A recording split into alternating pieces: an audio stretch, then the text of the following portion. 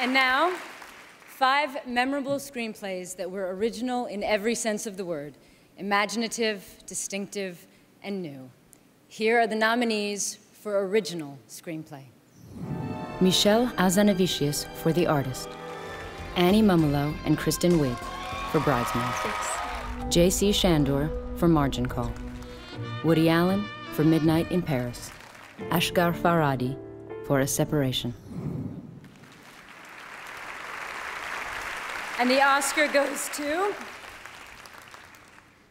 Woody Allen, Midnight in Paris.